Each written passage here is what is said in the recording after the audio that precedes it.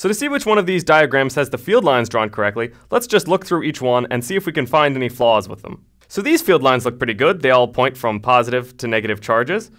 But something odd is happening right here. You'll notice here that two field lines are actually intersecting. So what would that mean if we had a particle right here in this electric field? Well, according to this field line, the particle should be pushed this way, assuming it's positive, and according to this field line, it should be pushed this way. Now we know that at a given location, an electric field can only push on a particle in one direction, so this case where it's pushing on it in two different directions is just nonsense. So we know that this diagram has to be wrong. And in fact, anytime we have a field line diagram like this where two of the lines intersect, we've done something wrong. So we'll keep that in mind when we're looking at the other diagrams. Now this one looks a little better. Uh, it doesn't look like there are any lines that intersect each other, so we don't have any contradictions of the field pushing in two different directions at once. There are still some odd things happening in this diagram though. In particular, imagine a particle right here. So if we imagine this particle has a positive charge, the field lines say that this particle should be pushed in this direction by the electric field.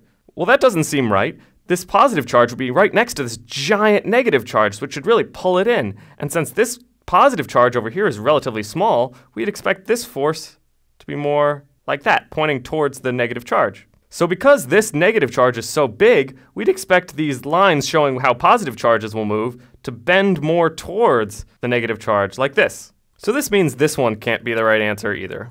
Which of course leaves only this answer.